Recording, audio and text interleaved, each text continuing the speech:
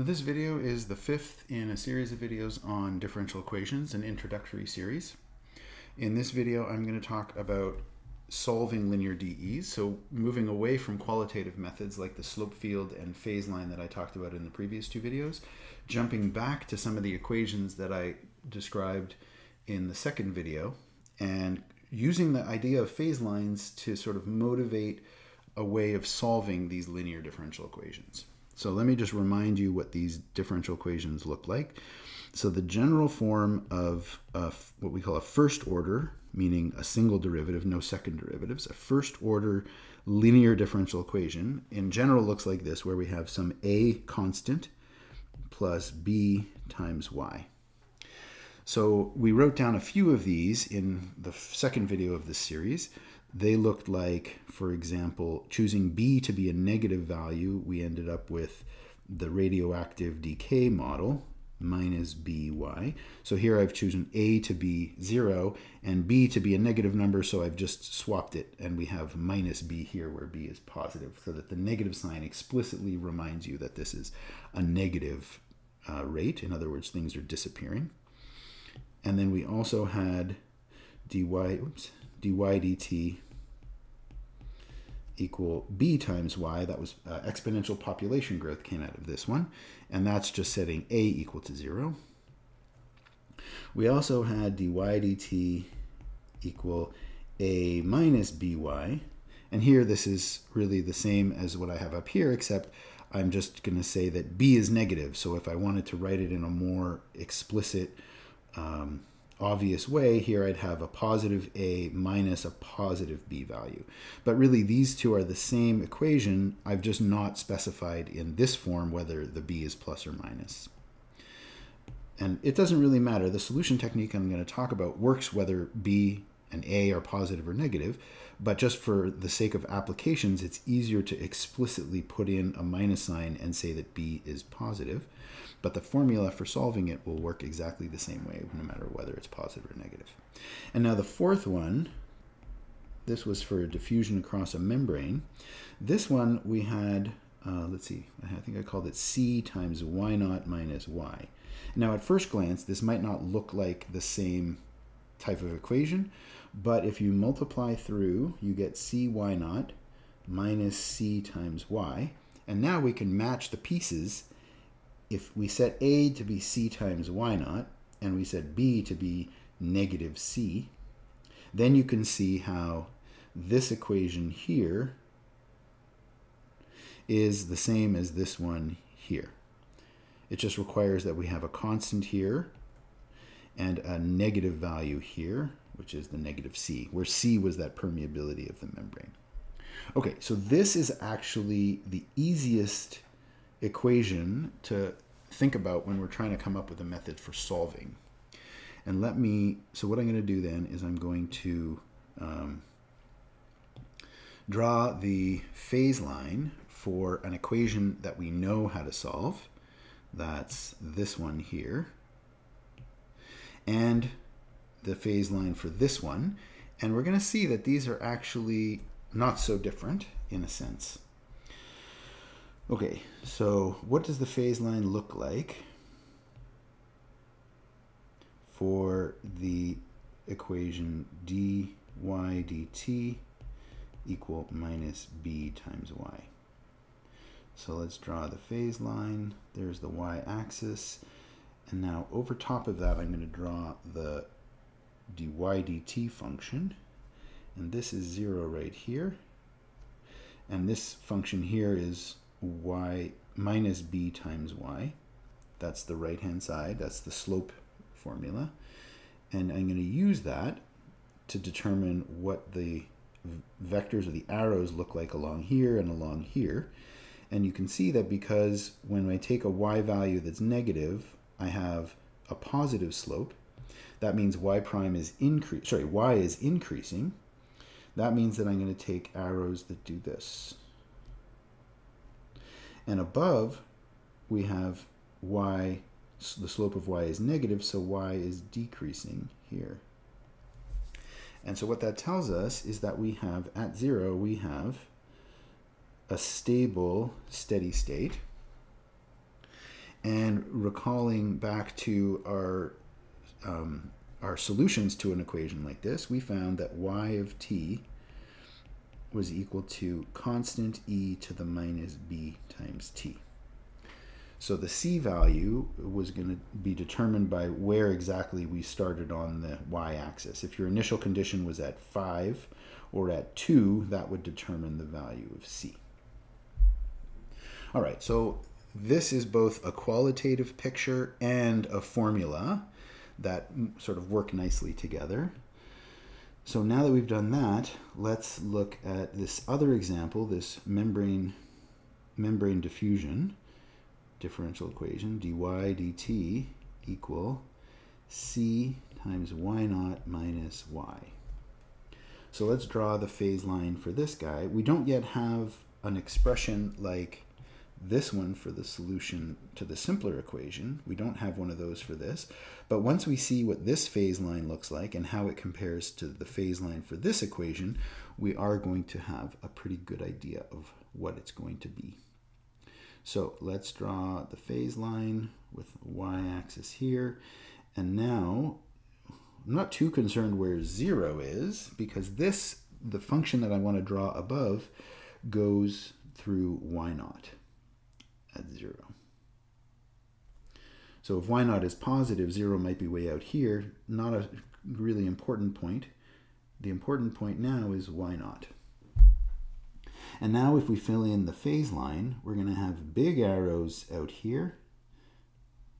And those arrows are going to get smaller as I get closer and bigger going in the negative direction as I go off this way. And the reason for that is that if I have a value of y below y naught, so y smaller than y naught, we have bigger number minus smaller number, that ends up being positive, which means dy dt is positive, so the slope is positive and the function is going to be increasing.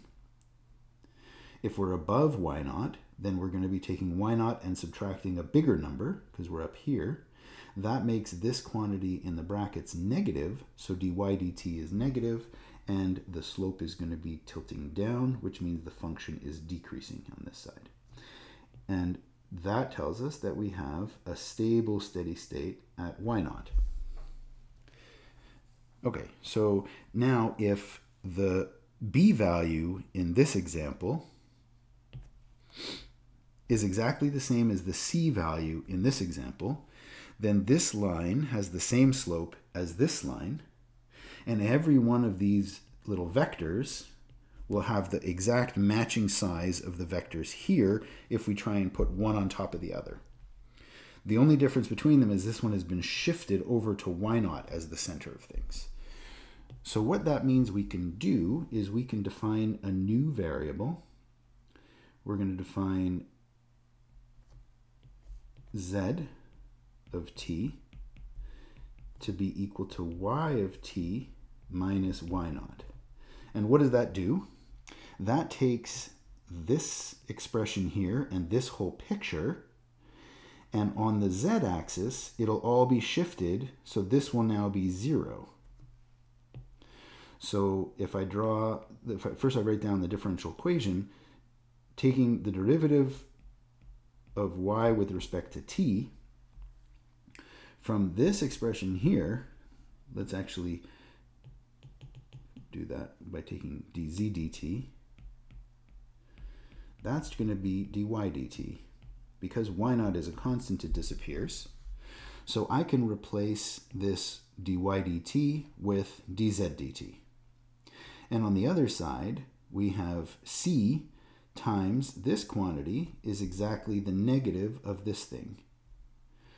So what that tells me, if I just write this as y naught minus y of t, that's equal to minus z of t. And so now we can rewrite the differential equation replacing dy dt by dz dt and replacing c times minus z in brackets.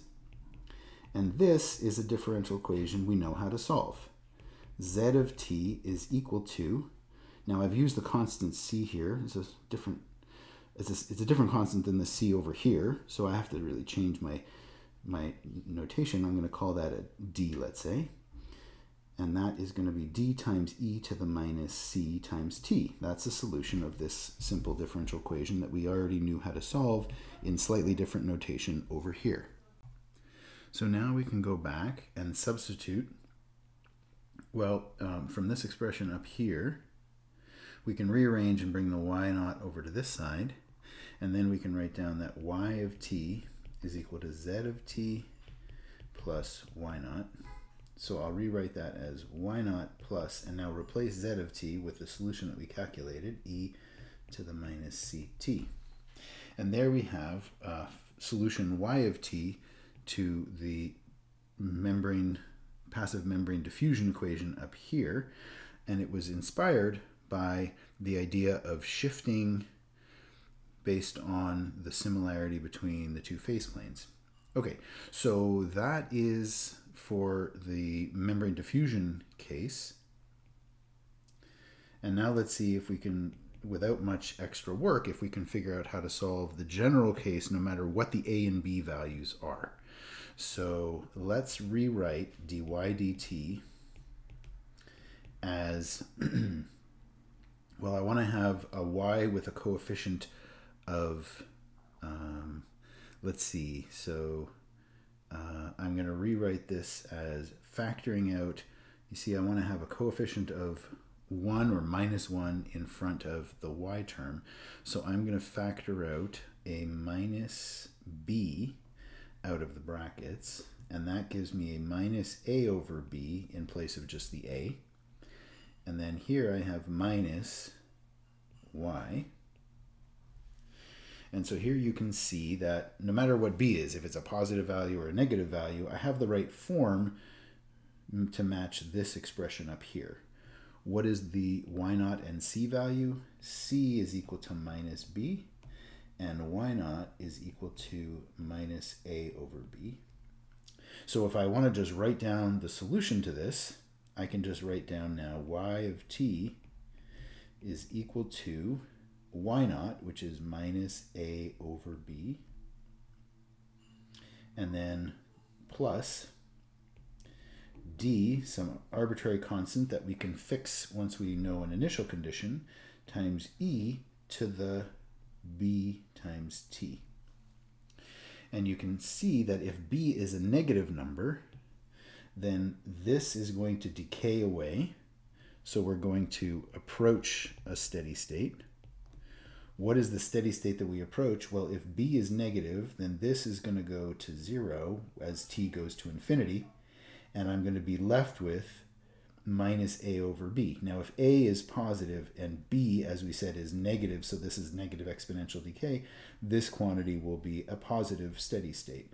And if it's not, if a is negative and b is negative, then it will be a negative steady state. But as long as, so let me write this down, for b negative, minus a over b is a stable steady state.